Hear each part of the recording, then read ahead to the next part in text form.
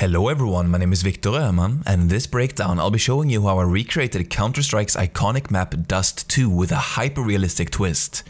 I wanted to explore how one of the world's most popular games could look if it was remade by leveraging the most cutting-edge technologies that exist today. I'll break down the most useful techniques that I use to create this scene, with some fun and highly creative workflows in every step of the process. And if you want to learn more about this project, you should join us on the 12th of this month at 7pm CET for an in-depth livestream where I'll be answering any questions you may have about this scene. So check the description for more details and let's jump straight into the breakdown. To start off, I went back into Counter-Strike and played the game to get a better sense of space in the scene. And as a fun test, I then captured a whole bunch of screenshots and fed them into a photogrammetry software, which basically let me create a simple 3D scan using the different angles. Now, there are probably more clever ways to go about this, but I just wanted to have a bit of fun, and this really helped me get a sense of scale and proportions. I then used this as a reference to quickly model the basic shapes of the map, mostly using simple primitives. I wanted to stay as true as possible to the original shapes, but then really give the set dressing and texturing my own spin. Now all I needed to do was export my blockout scene into Unreal Engine and get things going. So here we are in Unreal and the scene mostly consists of basic objects with no textures. And for this video we're gonna focus on the center structure or the main square, which I'll be using to demonstrate how I went about detailing most of the scene. The mesh itself is extremely simple with very basic geometry and UVs. The next step here was to apply a plaster material on this mesh, and to achieve this I relied on real-world scan data from the Megascans library. Because we're using a huge amount of assets for this scene, importing them would have been extremely boring and time consuming. To get through this, I used Quixel Bridge, which allowed me to export my assets to Unreal Engine with just one click. As you can see, my plaster surface is automatically imported with all the textures and a material, which I can then drag and drop on my wall, all without ever leaving the zone. Now I'm gonna go back to Bridge and I'll export this woodboard's 3D asset. This asset consists of multiple different wood planks, so all I needed to do was randomly pick one of them from the content browser, then move, rotate and scale them around my structure. I make sure to use several of the different planks as well as to rotate them around to maximize the variation I get from them to avoid repetition. I'll speed up this process a little bit.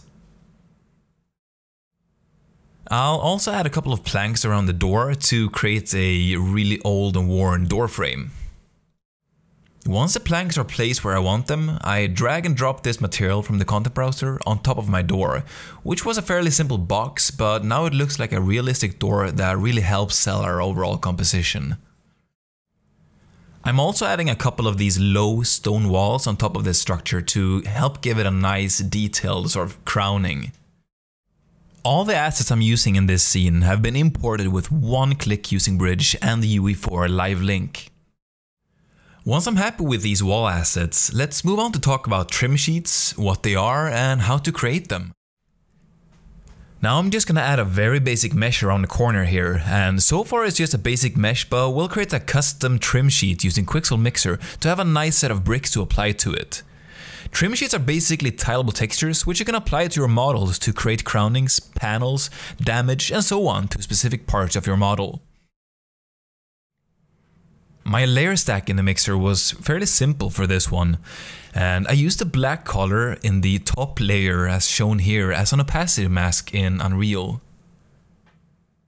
This project used more advanced trim sheets as well, such as this one, and I'll be covering its creation process in the upcoming livestream, from creating the texture in the mixer to the geometry and UVs in Maya.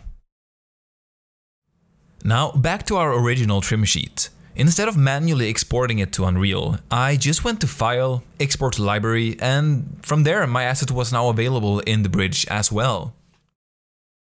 Now if I drag and drop my trim sheet material from the content browser to my mesh, you'll notice that it instantly looks much more realistic and detailed, and the overall structure feels much more believable as well. The next step for these walls was to add another layer of details to them, and just like with any other assets, the process was simple. Find the asset in the Megascans library through Bridge, click export and start moving it around. These decals really make a huge difference in the final result and were leveraged all over this scene. Let's let's do some quick set dressing for the road as well, using an asphalt material I made in Mixer, by combining a number of asphalt, concrete and dirt materials from Megascans. And before moving on to the next part of the video, I'll just go ahead and add some curb meshes to the scene as well. I'll speed this part up, but I'm using the same technique as I did for the wood framing on the structure, by adding some slight irregularities to the rotation and scale, and by using different orientations of the meshes, you can really maximize their use and really create a believable appearance. So instead of relying entirely on decals for detailing the road, I opted to use vertex painting as well, which basically allows me to paint different variations of the asphalt, creating a road that doesn't look repetitive. I created both variations of the asphalt with a mixer, and then just as usual, I sent them to Bridge and then to Unreal. The vertex blend setup I'm using for this road was also automatically generated for me from the bridge. I wanted to break up the road even more, and to do that I scattered a bunch of 3D plans around my structure and the road as well. And just like with everything else from the bridge, the foliage is completely set up for you with wind animation, materials and so on. I then imported a set of pebbles which were also scattered using the same technique and they added a lot of value to the road. Before we wrap up our structure, I quickly wanted to go over this mix. My colleague James Lucas created the base texture for me and then I created a very simple mesh that represented the overall shape of a crate. I'll go over the creation of this mix in an upcoming livestream. Once I had the crate in Unreal, I also imported a wooden pallet and put my crate on top of it.